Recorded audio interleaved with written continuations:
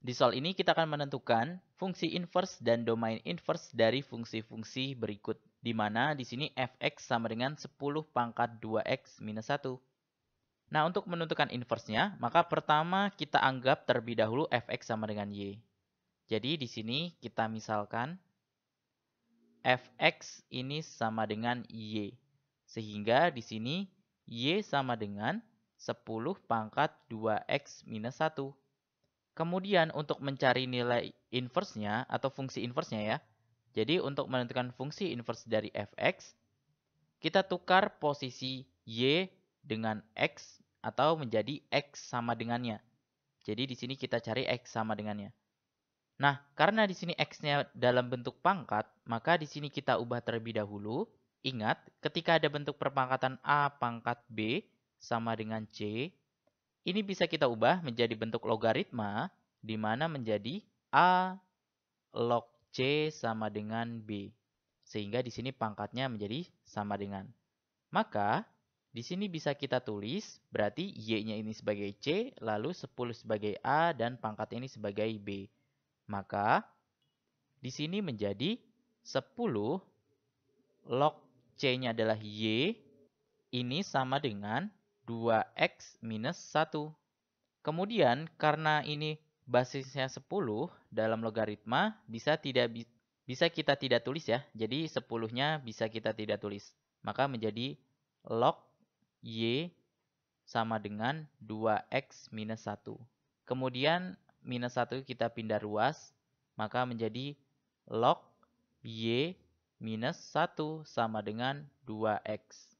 Sehingga bisa kita tulis seperti ini. Kita balik ya. 2x sama dengan log y min 1.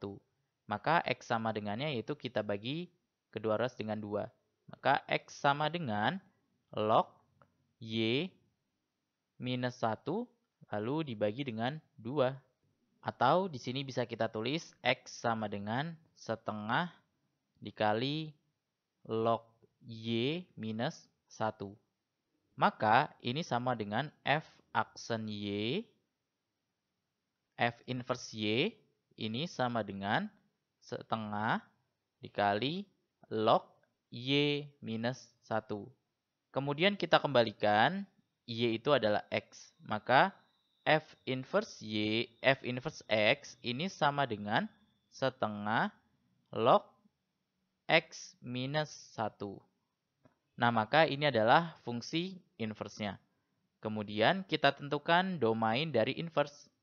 Nah, di sini untuk domain dari inverse, yaitu yang di sini, yaitu semua himpunan nilai-nilai X. Atau himpunan dari nilai-nilai dari X. Nah, di sini X-nya adalah numerus dari logaritma. Kita tahu untuk numerus ada syarat syarat dari numerus di mana untuk numerus ini harus lebih dari 0. Maka X ini harus lebih dari 0. Sehingga untuk domain yaitu domain dari inverse X di mana X lebih dari 0 dan X merupakan elemen dari bilangan real. Oke, sekian sampai jumpa di pembahasan selanjutnya.